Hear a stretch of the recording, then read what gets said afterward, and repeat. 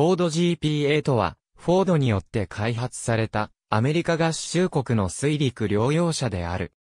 ダックと並び、アメリカ軍の水陸両用車を代表する存在で、海のジープを意味する、 Seep、もしくは、 Ike's Invasion Taxi という愛称でも呼ばれた。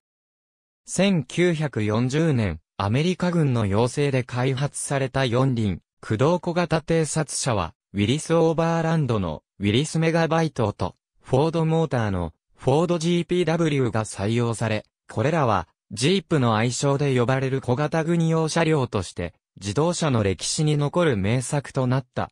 アメリカ軍は、この成功をもとに、小型の四輪水陸両用車両の開発を計画し、フォードとマーモン・ヘリントンに設計を要請した。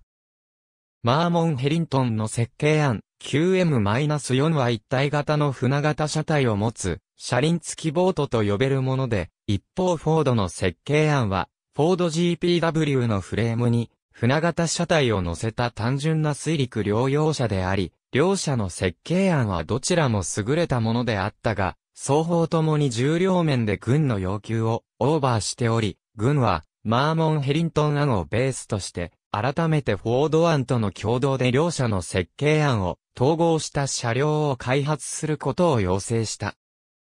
こうして、フォード GPA と命名された新設計案は、水陸両用車としてのデザインは順調に進んだが、軍の要求は、フォード GPW と可能な限りの部品の共用性があることというもので、あったために開発は難航し、最終的には新たに設計されたモノコック式、船型車体に、フォード GPW のエンジンと走行装置を組み込む形で完成し、1942年4月には、試作車が屋外での水上走行試験に成功し、1942年4月17日、正式に採用された。4月10日にはフォードに対して、正式採用に先駆けて5000台の量産発注が行われている。量産は順調に進み、フォードでは1942年5月には月産3000台の生産数を達成している。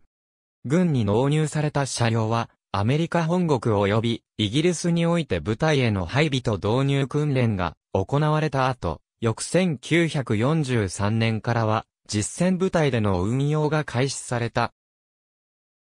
1943年7月のシチリア島上陸作戦、ハスキー作戦及び、同年9月よりのイタリア侵攻作戦で多数が使用されて作戦に貢献したが、前線で実際に運用されると、エンジンと走行装置が、フォード GPW のままなのにもかかわらず車体の重量が大幅に増加しているために走行性能が低下しており、パワー不足で陸上走行時の性能が乏しいと、現場での評価はあまり芳しいものではなかった。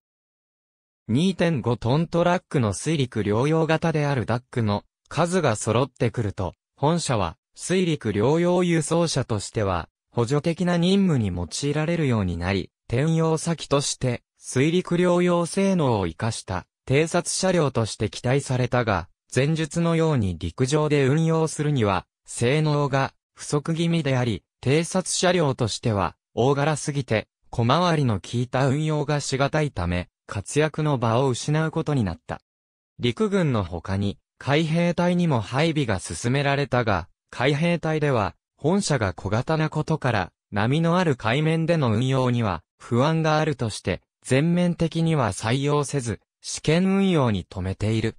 そのため、生産は1943年には12,700台余りで打ち切られ、生産者の半数はソビエト連邦へのレンドリース品に回された。